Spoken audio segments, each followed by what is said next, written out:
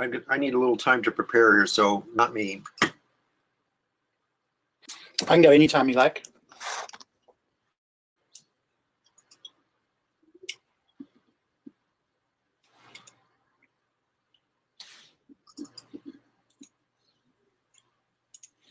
Let me start with um, this one.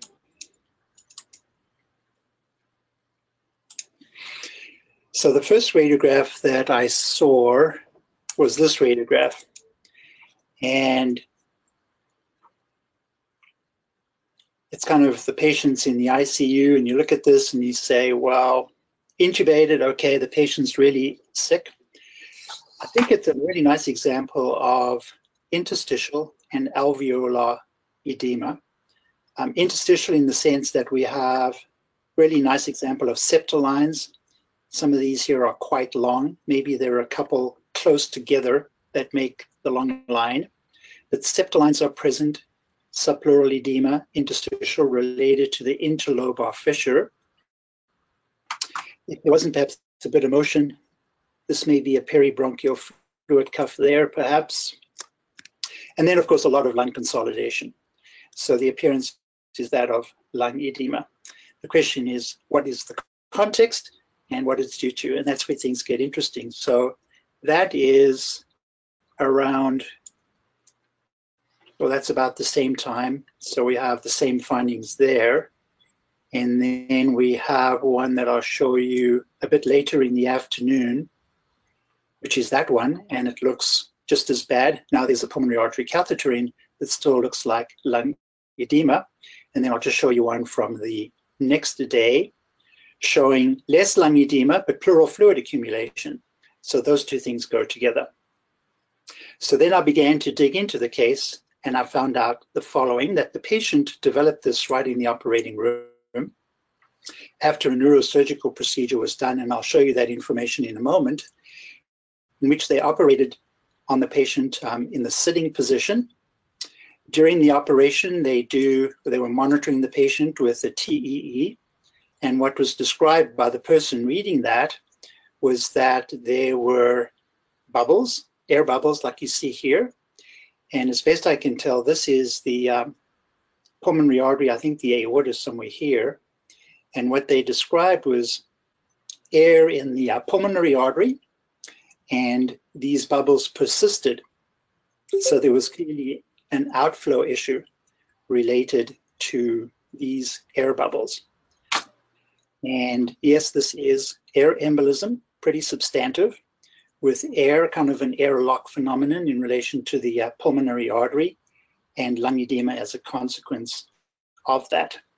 So let's see if I have the uh, op report there. So this is the kind of the description there that you see there. And you can see a description of the, oh, they put in saline, excuse me. Agitated saline persisted while after injection, indicating considerable impedance to the fluid flow from the right heart common patient at venous air embolism intra-op, resulting in the lung edema, as you can see there. So I think this is the first case of that that I've personally seen. I've certainly heard about that before. And here's a nice review article that I'll send along, sorry, below, about this phenomenon. It's actually quite a long article. It's a really nice article. They, they describe the diagnosis and treatment of vascular air embolism, the context in which that happens, the clinical presentation. And for example, here you can see that it occurs in different contexts, but classically neurosurgery when a vein is potentially open, as you can see right, right there. Have any of you guys seen this phenomenon before? I think it's my first case of lower lung edema from venous air embolism. I have not. No, that's impressive. Wow. I've seen um, ER cases that died, but this is the first person that survived, so that's really dramatic. Yeah. Oh, yeah. I do want to show you one other thing, and here I speculate. Yeah, this is pretty dramatic. So this is a follow-up CT that he had. So this is now, let me just get the timing right. So this is the fifth. He was pretty ill for a long period of time. So the CT, and I'm not quite sure why this was done, but this is on the 18th.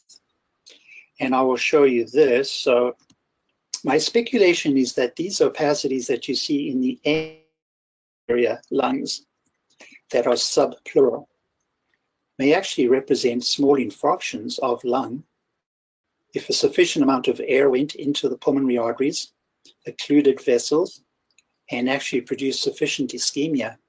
But it's really interesting that he has these focal, multifocal anterior subpleural opacities in the lungs. And And non-enhancing, think- Yeah, let's non-enhancing. have a look. Right. And I think it's very plausible that is the result of the ischemia from the embolized air. Yep. That's what I'm thinking. Obviously, he has pleural fluid and he's got some lung atelectasis, but I think that's a likely explanation for those opacities there. So that was pretty dramatic, pretty dramatic case. Wow. Uh, this one, I know David in particular will like, so I'll show you this one. This is actually a nice radiograph to uh, teach with in the sense that, in my experience, when people look at this, they'll describe some areas of atelectasis in the lower lung zones and maybe not appreciate how much atelectasis there actually is, particularly here in the right lower and middle lobe. So I might use this separately as a as kind of a teaching case for atelectasis um, there's substantial atelectasis of the right lower and middle lobes. I'll show you a CT that goes along with that. So there's a time interval here. This is the second, and then this will be the 17th. And you'll see here how much atelectasis is indeed present in the lower lung zones, particularly right, middle, and lower, of course. And also a nice teaching example of what fluid or food or at least material looks like in the bronchial tree. So these bronchi contain stuff. It may be aspirated fluid, for example, or secretions or combinations thereof in the right lower and middle lobes. So the other observation to make here is look at muscle. So we see shoulder girdle muscle around the shoulder girdles, but look at pectoralis, look at serratus, uh, look at uh, lower down latissimus dorsi, intercostal muscles. They're very atrophied. And now let me bring up the coronal to show you the diaphragmatic crura in particular. So if we look down here, um, these crura are relatively small, very thin. Let me bring up the axials to show you that as well. So here on the axial, if we go down and we look at the thickness of the crura, they are, in my view, thin structures. And this is a relatively young person. So there's a lot of muscle atrophy involving the skeletal muscle as well as the diaphragm as well, and the atelectasis. And this is um, unfortunate individual with muscular dystrophy. So he's got muscular dystrophy type 1, and I think it fits very nicely that he's unfortunately got a lot of muscle weakness, including the diaphragm. And um, as you can see from this particular summary, that with muscular dystrophy type 1, and there's another one type 2, I can't remember the differences, but certainly diaphragm weakness can be a very substantial problem. So I'm not sure if I've seen that before or maybe haven't recognized it before, but I think it's a very nice uh, depiction of those findings. Very cool. Yeah, it's a real dilemma because he's a young person. Howard, on a sagittal view, Yes, can we look at the anterior diaphragm muscle on Yes. sagittal? yes. And it's, I'm glad you reminded me because the one that we can see is on the left side and it's thin. So there is spleen and it it is thin. I don't know if it's actually fatty replaced, but it's too thin here, right? Right.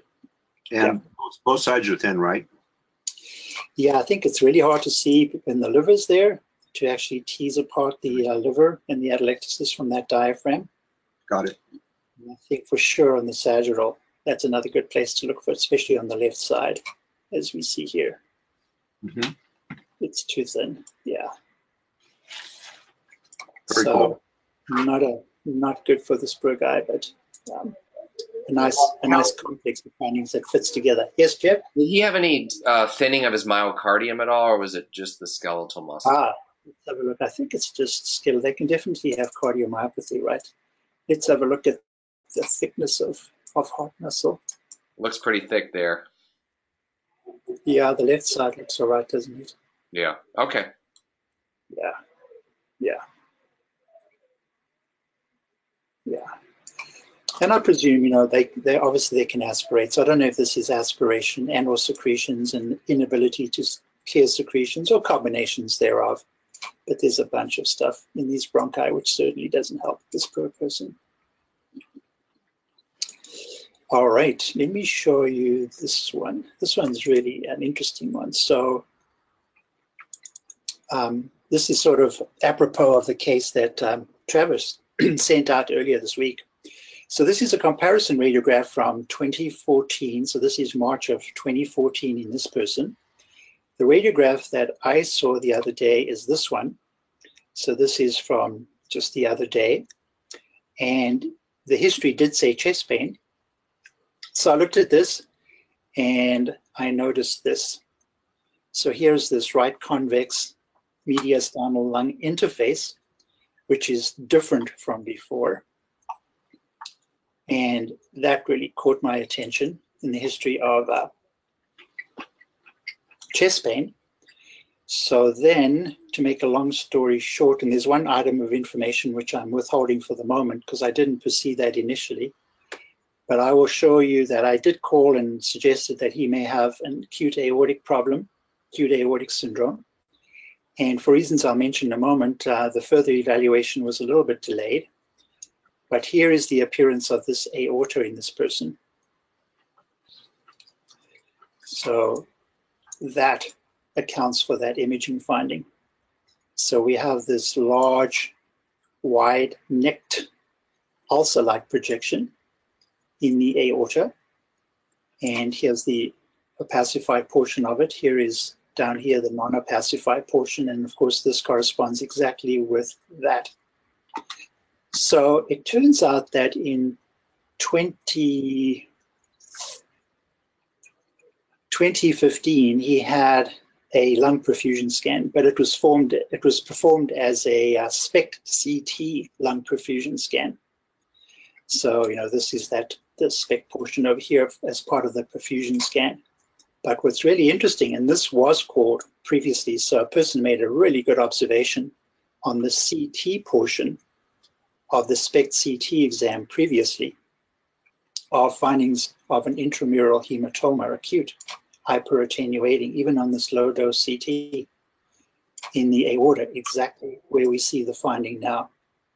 So you can see the extent of it. It goes up there in the aortic arch, ascending aorta, and right in here. So I think this is, and that wasn't treated because of his advanced age. It was elected not to, to treat or perform further evaluation of it at the time. So here's, I think, the evolution of what we know can happen, and that's the formation of the so-called large ulcer-like projection as a, uh, a consequence of acute IMH of the aorta. See there.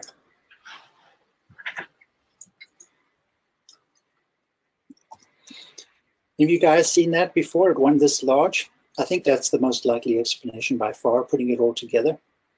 No, I showed I think- traumatic injury a week or so ago, but um, I would wonder about trauma in this case too, because, um, you know, he's got, he's got interval rib fractures between the two chest x-rays that you showed. Howard, the, uh, He does. has a lot of healed rib fractures. He does, yeah.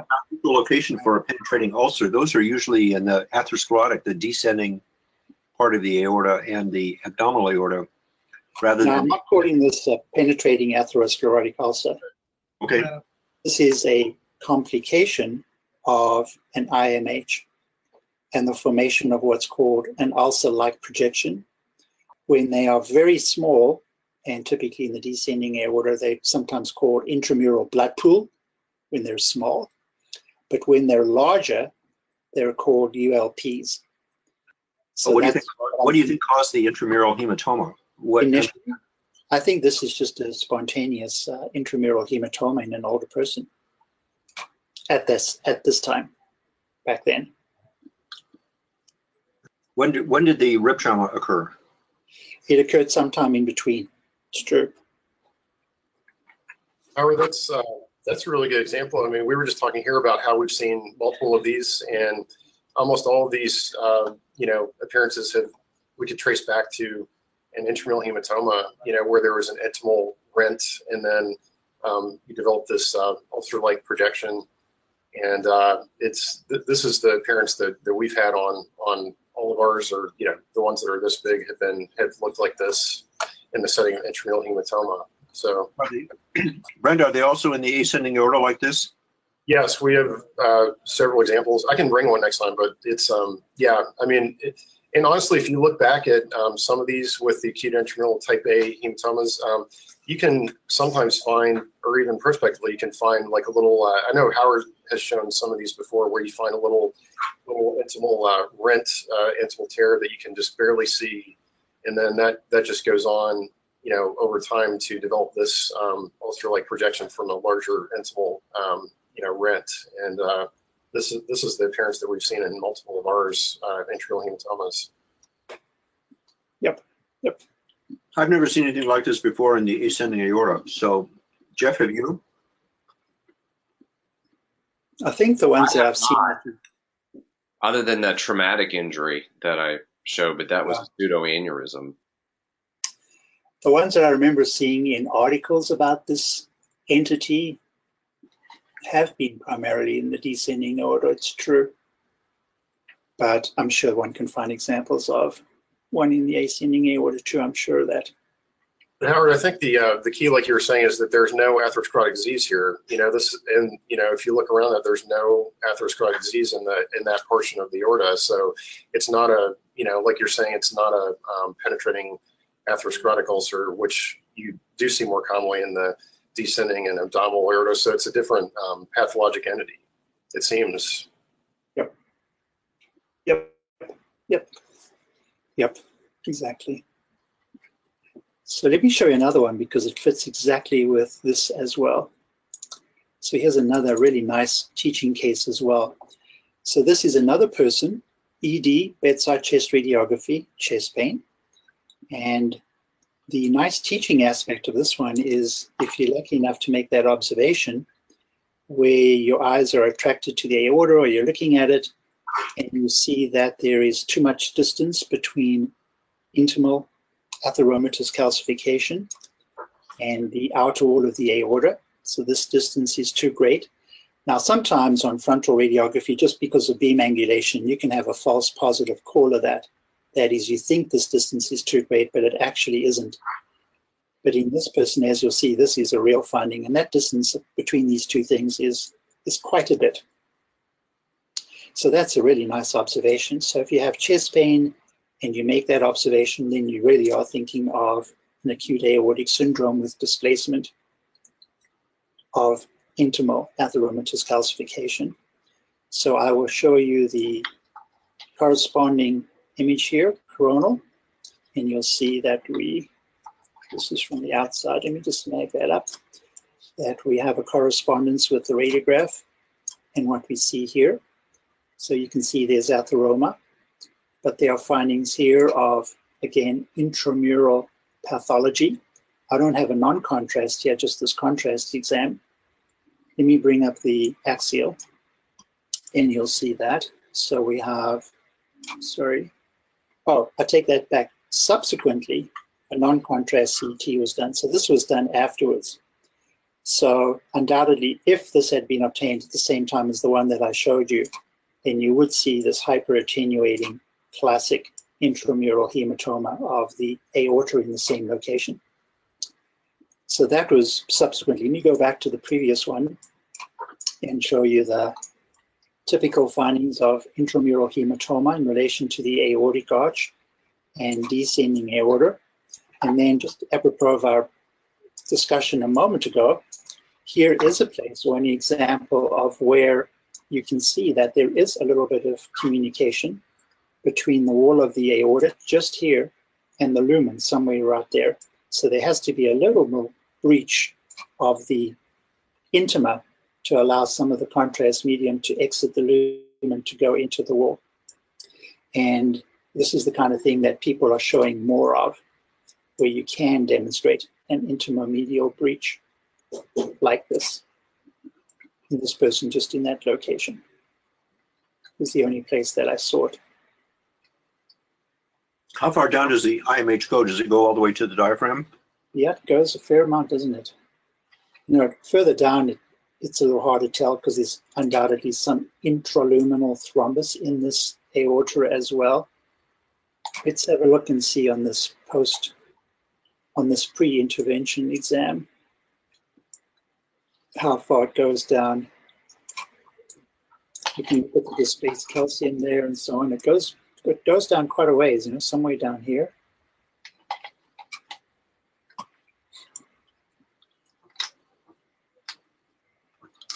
Least to, you know, here, and then calcium seems to be displaced.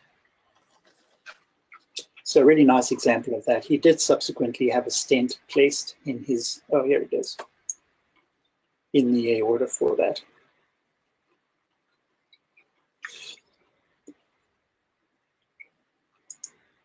Okay, so I showed you those.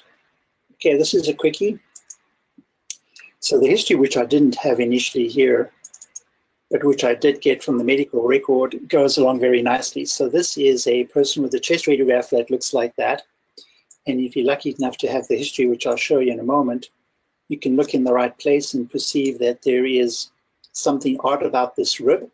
So it's it's anomalous compared to the other side. It looks like a cervical rib or something like a cervical rib, or at least an anomalous first rib, but it's short. It goes um, in that location in a funny spot, but certainly there is a rib abnormality there. Let's see if I have the history. So let me just give you the history there. So look at that history. This is a 34 year old person. And you can see he's got symptoms related to his left arm as indicated there. And certainly with that imaging finding, we're on the trail of thoracic outlet syndrome and so on. And here is a nice example of an MRA that was done that shows, let me see, get a nice image, that indeed he has thrombus right there in the subclavian artery. So rib anomaly and thoracic arterial outlet syndrome in the sense that he has focal arterial subclavian artery thrombosis. And they subsequently operated on him. Let's see what they found. Here you can see a description of the surgery and what they did right there. Whoops, sorry about that. How did that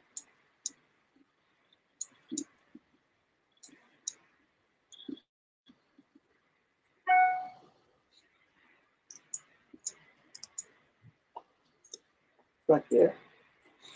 So they also did some neurolysis, anterior scalenectomy, section of the rib.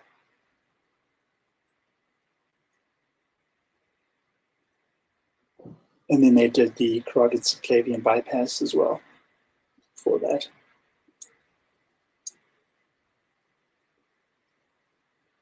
There's the angio.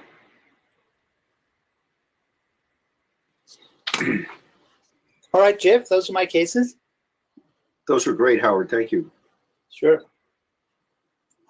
All right, thanks. David, are you ready? Uh, I think so. All righty.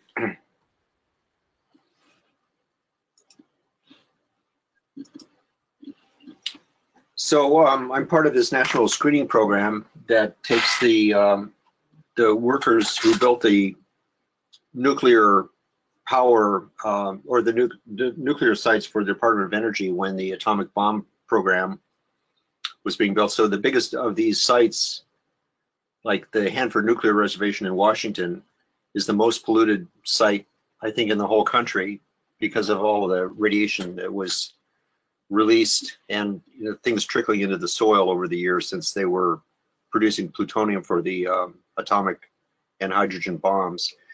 So, um, so the workers at these sites are get this surveillance program, and their usual exposure is asbestos.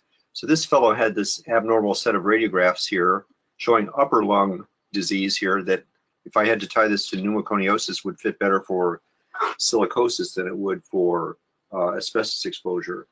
And he has um, he had a CT scan, which also shows small nodules and then these bigger collections here. And looks like a case of progressive massive fibrosis here with these big, fairly symmetrical upper lung uh, conglomerate masses. And let me just scroll through this. So it's really predominantly upper lung disease. There's a peripheral component. There's a, some stuff along fissures, so it fits nicely with that. So I asked the, the people who sent these studies if they had any more occupational uh, exposure history. And this man had done other work besides on these nuclear reservations and had been uh, involved in mining and rock, rock crushing operations. So he was exposed to a lot of rock dust. So here's a case of sort of unexpected silicosis in a population that usually uh, shows us um, asbestos findings, if any. And there are associated calcified mediastinal and hilar lymph nodes here, which also go with this kind of pneumoconiosis.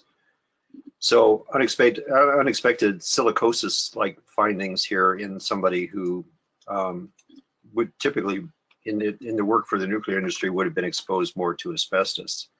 Uh, David, do they? Do you ever Yeah. see beryllium disease related to nuclear Yeah, we- weapons? And, we do, we do see that, right. And the cases I've seen uh, in, in the Hanford cleanup, for instance, are usually lymphadenopathy that looks like sarcoid lymphadenopathy, nice symmetrical hilar and Mhm. sometimes mediastinal lymphadenopathy, but rarely do we see lung disease. And uh, this fellow, I don't think had had exposure to beryllium. So um, his he was exposed to rock dust, but not not beryllium, as far as I know. okay. But that is also in the differential, and even inhaled talc could give similar findings to this. So sarcoidosis, berylliosis, talc inhalation, uh, and sarcoid are all things that we have to consider together as possibilities. then I'd like to show you this um, this person who um, is a woman in her 30s who um, complains of coughing up these big um, mucus plugs, and uh, it was it's been compared to her her experience coughing these things up is like a scene in the Harry Potter series, which I don't recall, where uh, Harry Potter's best friend is bewitched somehow and he's coughing up these slugs. So slimy slugs are coming out of her lungs, and she gets desperately short of breath. And this is one of her um, let me show you an earlier radiograph on her. This is the way she looked um, early in her course. So she had stuff that looked like aspiration scattered around, mostly in the right lung base, but some stuff on the other side too. So she had what looked like recurrent aspiration, probably caused by these mucus plugs causing some atelectasis and retained secretions and things like that. So at an outside hospital, she had um, she had a CT scan that showed and this is similar findings here. It shows a lot of stuff in the mediastinum, a lot of abnormal tissue here.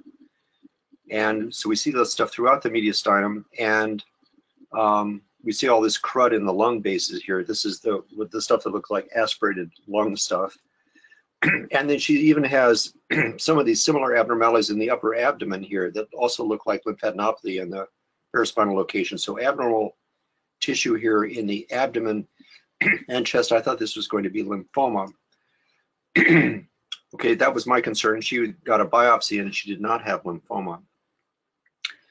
So this condition uh, is called plastic bronchitis when people cough up these abundant and frequent um, gelatinous mucus plugs. And this can lead to, I mean, people can aspirate a lot of stuff on these things and they can be asphyxiated by these rapidly forming mucus plugs it implies that there's something wrong with lymphatics and lymphatic drainage backing up into the chest is the typical cause. So this woman had a lymphangiogram.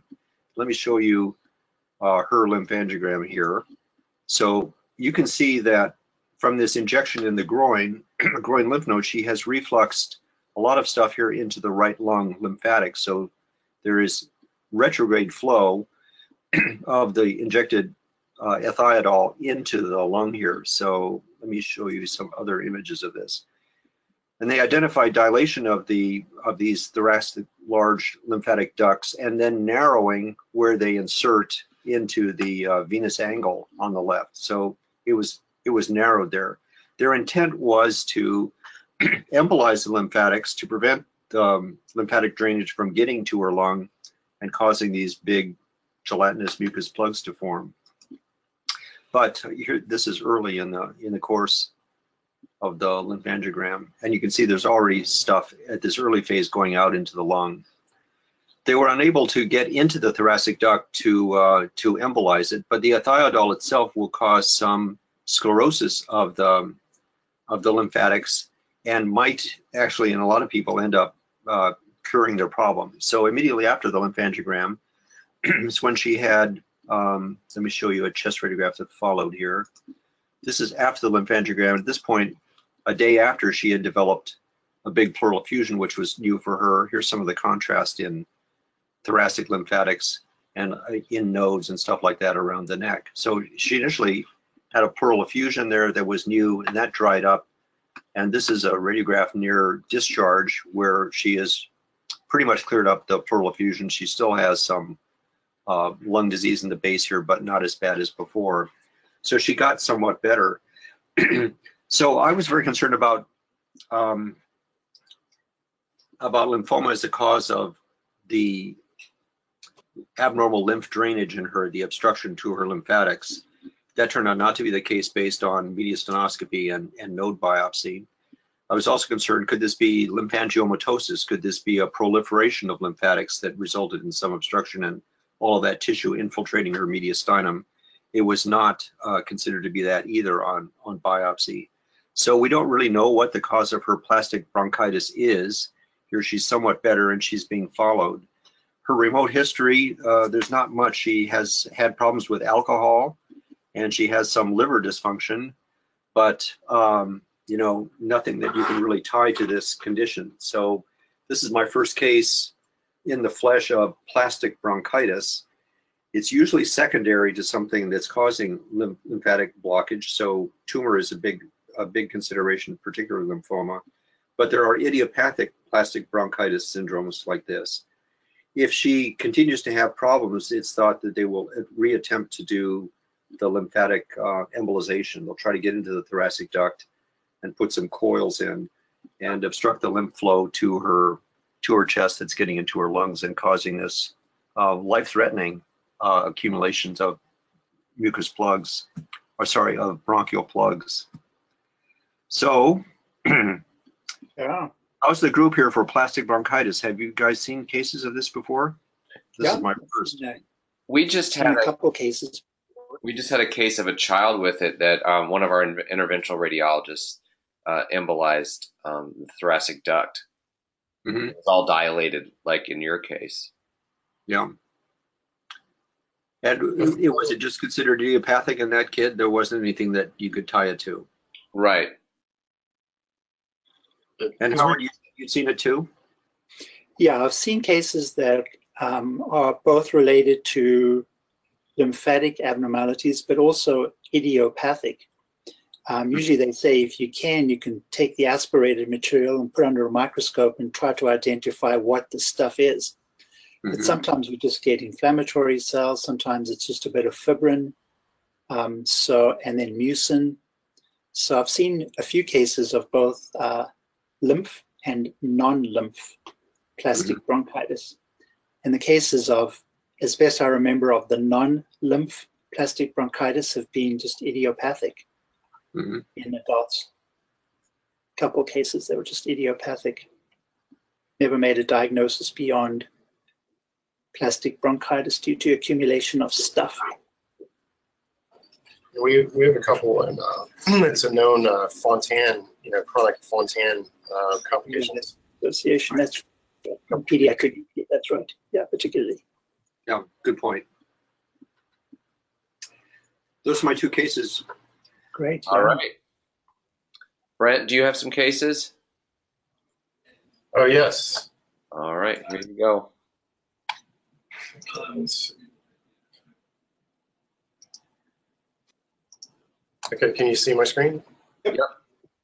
Okay, um, so just, I have one kind of complex case and then in a couple of shorter cases, very short cases. So um, this one is a patient who came in and had, um, you know, you can see widening here of the mediastinum. You can see an endograft has been placed. Um, there are a bunch of these funny coils um, projecting over the uh, endograft. And then um, you can see there's a uh, catheter here that courses down from the right IJ, and then it makes this strange turn right there. And I'll show you what, what that is in in a second. Um, let me show you this CT. And I have a couple CTs here. The one, one of these is on transfer to um, our main hospital.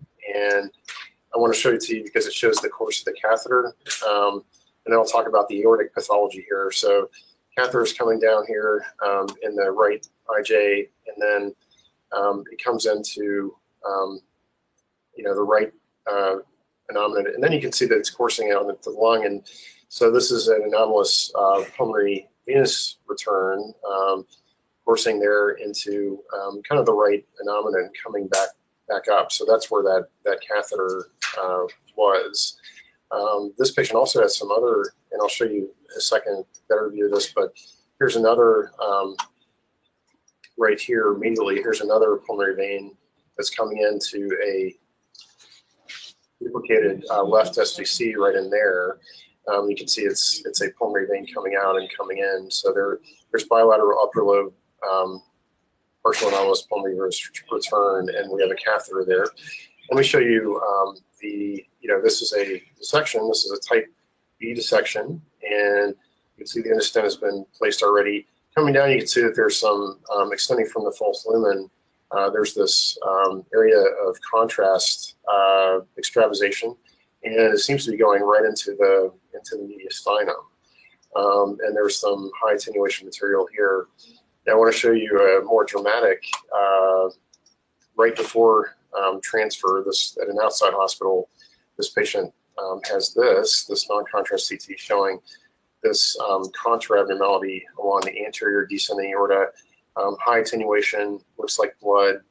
Um, there's blood in the mediastinum. There's a right hemothorax. Um, this other um, pleural collection measures uh, blood as well. So this dramatic presentation here of a ruptured type B aortic dissection. And let me show you here on the contrast study that um, extending from the false lumen there, there's that um, you know, contrast extravasation right into the mediastinum uh, from the false lumen and a lot of blood in the mediastinum going all the way up. So uh, you can see the anomalous pulmonary vein coming in there to the, um, the left SVC. Uh, you can also see the anomalous pulmonary vein on the other side and the right upper lobe come in where the catheter went there before. So just, you know, kind of a, a presentation of a ruptured um, type B dissection there with hemo, mediastinum, and hemothoraces and um, other findings. So I thought that was interesting. Hmm. Um, here's, you know, here's some quick cases here. So um, here's a case of a patient who um, was getting set up for a transcatheter um, Brett, aortic valve. toggle. Sorry, Screen. forgot. I know it's There we go. There we go. Um, so this is a patient who is actually getting set up, coming in because there uh, was some um, concern for aortic stenosis and being set up for a TAVI. You can see here though that the um, you know aortic valve doesn't look too bad. But as you scroll down, you realize this patient had a bioprosthetic mitral valve replacement. And you can start to get to get the flavor, start to get the flavor for what's going on, what's causing the kind of gradient uh, here. You can see that um, the um, anterior leaflet uh, right here, and the in fact the um, the valve itself right there. You can see the uh, the struts are obstructing the um, LVOT here. Um, let me show you uh, dramatic. Um, let me see if I can pull this up. Three chamber view. Let me see if I can put that. Can you see that? Okay. Okay, so you can see the three chamber view here shows that the um, anterior, um, you know, aspect leaflet of this uh, this uh, prosthetic mitral valve is actually obstructing, dynamically obstructing the LVOT. You can see that there's very little um, uh, opening here on systole, and you can actually see the uh, chordae uh, tendineae start to um, be sucked up through through the Venturi effect uh, anteriorly. So there's some SAM here, some chordal SAM of the chordae, um, and there's severe obstruction of the LVOT. So this is an interesting case in which the um, surgically placed valve has actually obstructed the LVOT and causes this functional obstruction um, of the uh, proximal uh, aortic LVOT. So um, it's going to be uh, what part of the valve is causing the obstruction? Did you say uh, strut or or leaflet? That well, looks like it's the strut. It's the strut, and then you can see the um, part of uh, the chordae here is also getting sucked up against it, and um, you can see that the, it's dynamically narrowing. Um, you know, primarily the strut, but also you can see the the chordae is getting pulled toward that. So there's some systolic anterior motion of that, and then on systole, uh, the strut is actually obstructing, as you said, the um, LVOT. So um, we, we found that, you know, or not, we haven't found, but um, a problem with mitral, with TAVI placement now is um, it, you can get some obstruction of the anterior leaflet of the um, of the mitral valve, and some patients are predisposed to having that obstruction to the point where um, now, um, you know, special uh, procedure, a lampoon uh, procedure, uh, as it's called, can be used experimentally to kind of fulgurate that um, anterior leaflet so that um, you don't theoretically get as much obstruction. So, but this is the first thing I've seen of um, um, Art Stillman showed me this case of where uh, the surgically placed valve is actually severely obstructing on uh, dynamically uh, the LVOT. So, so that was really interesting. So, and then just uh, maybe one other quick case here. Wanted to, um, sorry, let me get back to my list here. Um, here's uh, let me go back to the screen here. Okay, so this is one kind of a similar but different theme. Um, this is a patient who um, had a robotically placed um, mitral annuloplasty, and you can see coming down, you can see the annuloplasty ring right here, um, and um, uh, more importantly, th this patient was having some persistent, um, you can look, see in the lungs here, we have edema, um, of edema. We have a pleural effusion, septal thickening, ground glass throughout the lungs. And this, it turns out, was worse than on a prior study before the uh, annular, annular ring had been placed. And you can see here, this is the reason for that, though. Um, you can see that here's the posterior aspect of the mitral ring, and it's actually dehisced from the um, posterior aspect of the uh, mitral annulus here. So they saw on echo um, moderate to severe uh, insufficiency of the mitral valve. So um, this is a dehiscent uh, mitral ring, and they're going to have to go back in and do um, repair of, of, this. So uh, just another perivalvular regurgitation. Right, perivalvular regurgitation uh, caused by dehiscence, and um, I, am looking, you know, very closely now at all these because I, I, I have a feeling that, um, you know, even on this is a non-gated CT, for example, but I'm feeling that you, you know, um, we may be able to pick up. I, I, know I've shown a couple of these before in this conference, but um, you know, uh, we're looking more and more carefully for these, even at just CTs done for other reasons, because um, seems that uh, this is uh, not an uncommon thing to, to see. So, um, and then maybe just one more case here. Um, let's see. Here's a, uh, sorry. Just wondered if other people have seen this um, before. This is a quick case. So um, just a uh, patient, you know, you can see the soft tissues here. Um, no skin Brad, you just share the oh, sorry. Yeah, sorry. I know it's annoying. okay, so um, this is this is a patient with really no um, history of any systemic disease, but you can see that there is a well-defined fatty lesion here along the RV apex, um, along the septum. And uh, first thing I look for when I see things like this is I look for um, tuberous sclerosis. um, and uh, you don't see any, there's no history in the chart. Um, you know, there are no skin lesions here. And um, so this presumably has just been isolated um, um, lipoma. of the RV and just don't have very many. I think maybe I've seen one other isolated lipoma like this, but by far the, the most common thing I see the myocardial fatty foci in is just tuberous sclerosis. Um, so I just wonder if other people have seen uh, a lot of these, or you know, we just, uh, you know, uh, just seems very uncommon to have an isolated, presumably lipoma of the right ventricle or the left ventricle for that matter. No, that's unusual. No, I unusual. haven't seen that. No cysts in the lungs, no. No, no, um, and that was the second thing I looked for, and um, you know, it almost always turns out that the patients have tuberous sclerosis, and but this patient does not. So, but I just thought that was very, very interesting. Anyway, th- those are my cases for this week. Great, thank you. All right, I've got a few to show here. Let's see. Okay, um, this is just nothing exciting, but let me see here. It's just beautiful. Um, let's see. All right, so this is a. How old is the guy? He's um, middle-aged smoker. Was seen to pulmonologist for an abnormal CT, but I thought this was just a beautiful case of what is presumed to be respiratory bronchiolitis. You see it drops out as we go to the bases, but you know, interesting for me, I was quite taken by how how well defined these centrilobular nodules are. I mean, they're ground glass attenuation, but they're almost they've sort of blossomed a little bit. So um, I don't know what his pulmonary function tests are. If this you know would if the clinical diagnosis would fit RB-ILD, but I, I, I think the, the diagnosis is in doubt. But I thought this was just really pretty and just a good basic teaching case of centrilobular nodules.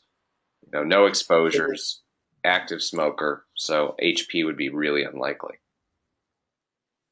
Wow. Yeah, those are Usually, each one. Each one is almost an acinus in size. So you could have like three to four per lobule. You could Right. almost you could almost draw around some of these and say that's an acinus. yeah, I think you're right. One. Yeah. Yeah, some of these, but it's just it's it's just it's really nice, and you know, I, I, I it's a spectrum clearly, and you know, but usually when I see RB, it's really smudgy and subtle in a lot of patients, but I saved it because it was a pretty good one. Uh, this one's not so subtle. Uh, this is a young man. He is in his, um, I believe he's in his early 40s. I wrote it down somewhere. But he presented with chest pain, and he's got this mediastinal mass. Don't not showing yet, Jeff. Oh, sorry. Let's try this again. I have not figured out how to override this in GoToMeeting. So you want to see this. All right. There we go. You PA radiograph. Okay, so he's got this anterior mediastinal mass. Here's the lateral. You know, 40 is kind of a tough age because he's kind of, um, you know, he's in the thymoma range, but and he's a little old for your typical diffuse large B cell lymphoma. He's kind of on the older side for germ cell tumor. Um, you know, anything's possible. Um, and he has a really nice CT. And um, this is uh, they did delays for some reason, but uh, on the arterial phase, you will see that this mass is it's got these hypervascular foci. But what's I think cool about it is what it's doing to the to the main pulmonary artery in the RVOT. There's I mean it's it's pretty slit like here. If I make a let's see a coronal, I think you can really appreciate just how tight that um, pulmonary outflow track is if I can find it. Um, yeah, it's, it's just, just a sliver of of contrast coming through right right there. Mm. And so he was having pretty progressive symptoms, and so before they even biopsied him, they got the labs, and his, the alpha fetoprotein is through the roof. So this is a germ cell tumor of some sort, and will be coming out shortly. If it, I believe it may have already come out. They did do some delays, um, which just shows this thing filling in. So when you give when you see the contrast features, it doesn't look like a um, lymphoma at all. I don't think there's any question about that. Um, you know, I don't think of thymomas as being particularly hypervascular either. But it's interesting what, what's gonna what kind of tissue they're gonna find in here. The other thing is thymoma is usually soft and doesn't doesn't uh, narrow vascular structures as much. So I think I mean, they're they're not as soft as I don't know. I've seen a couple big thymomas, but they're usually on one side of the mediastinum and sort of push stuff out of the way, but don't squeeze it. Yeah, you're correct. This tightly, but I think this thing is just growing really fast. and That may be why it's compressing it. Um, speaking of mediastinal masses, um, this is uh, here. I'm going to make it display the right screen. This is kind of cool because you know we we see we see aneurysms all the time, and you know they just do what they do. But this one's cool because he's got a subclavian artery aneurysm, and then on top of that has a he's had an aortic a, ascending aortic repair, but has this sort of um, you know mildly dilated or mildly aneurysmal sort of proximal descending, and you can see what's happening to the trachea. Let me make it a little bit bigger. But there's sort of like a nut cracking the trachea in here. And so you kind of get this narrowing between the um, the dilated aorta, but the subclavian artery aneurysm is not allowing the trachea to move out of the way. It's not obviously as severe as that the last case I showed you, but you see here there's a looks like either an old dissection or um, layering thrombus in that um, descending aorta, but sort of a tracheal stenosis, almost like a ring here but more of a nutcracker. Unfortunately, I don't have a radiograph. That would be kind of a nice one. Um, this is a fun case. I think you guys will all like this one, and hopefully, I will be able to display everything appropriately. So we've seen a lot of scimitars um, in this on this webinar, um, and here is one such scimitar. But this one is neat because this one has been repaired, and then there's a complication of the repair. So um, first of all, um, following what's been called Caney's rule, you'll see there's a left SVC um, to go along with our scimitar. There's a thread-like brachiocephalic vein. So we have duplicated superior vena cava. Patient does have some pulmonary arterial enlargement. And you'll see there, this is what was the scimitar vein coming down part in the train. Um, missed the tornado drill earlier. Um, so anyway, this was the scimitar vein, and what they did to repair it because this was a sizable shunt, the entire right lung was draining to the IVC, and it went in right here. Uh, they created a baffle that goes into the left atrium, and you see what this little sort of fold is. And I'll put it up on a on a coronal. Um, but what was happening was the the, the baffle had become stenotic. Probably it's sort of a kink, um, and then there was a little bit of leakage, and I don't know how well it's going to show up. Um, there was a little bit of leakage through the where they tried to oversew or, or close the, the scimitar vein where it empties into the SV right here. You see there's a little jet of contrast kind of right in there. So it was leaking. Um, so we have an MR. Uh, let's see, that's the localizer. And unfortunately, it's sort how Osirix likes to mix jumble up series when you combine them. But let's see if I can find the coronal MRA. Will show a little bit of the anatomy. And then I can have the angiogram that shows the repair, and they I think it was a pretty clever repair. They did it all endovascular. Oh, man, let's see. Too many sequences on these studies. Um, well, here's a delay. So it's a sagittal acquisition, but I'll, I'll make it coronal. But you can see um, we've got the, there's the little bit of reflux into the hepatic veins through the little leak there. Here's the baffle coming in to the, to the atrium. And you see right here's the communication. So it's got this kink right in here, and then the, the baffle is supposed to plug in the left atrium, and it's stenotic right in there. So patient was developing some you know, some reflux, some stenosis, and decreased flow. So they went in and did it percutaneously, and um, I think for the sake of time, I won't show the. I'll send them along, but you can comb through the angiogram. There's a ton of sequences. But what they did is they they balloon they ballooned open the um, stenosis with just a balloon angioplasty. And then for the leak, they actually put an amplatzer across the leak to close the leak, which that was pretty clever. So they were able to successfully close the um, the repaired um, uh, scimitar baffle. And of course, because it was a scimitar, I should show the other anomalies. And you'll see the right lung is hypoplastic. Looks like there's just a single segment to the upper lobe, an apical segment and the middle lobe seems to have only one segment. There's a partial fissure here, and then I see maybe two basal segments from the lower lobe and a tiny superior segment. So it's abnormal lobation, abnormal airway branching, absent native pulmonary veins, a left SVC, um, and in this case, the scimitar drained the entire lung. Hmm. That was fun because we, we've seen a lot of scimitars, but this is the first one I've seen repaired and then a complication of the repair. Um, real quickly, and David, I don't know if you shared these cases, but Jitesh had sent me these two wonderful cases of anomalous venous drainage. um, and stop me if, if we've already shown these, but this is the first one uh, here. This is, um, you see there's an aberrant right subclavian, and then if we follow the drainage on the left, you'll see there's no communication with the left atrium. There's a looks like a nubbin of what would have been a pulmonary vein, but you see this pulmonary vein comes into the mediastinum and actually crosses the midline and goes down and joins up with the uh, portal, what would be the portal vein. The CT doesn't go all the way down, but there's a coronal MRA that shows that anomalous drainage into the portal system. This big guy here. So I don't know if this technically would be a left scimitar. Hmm. So that was one, and this was another one. This is another case of anomalous venous drainage. So this patient also has a vertical vein running on the left, but instead of going, and there's been um, an, an Don't see it Jeff. oh sorry,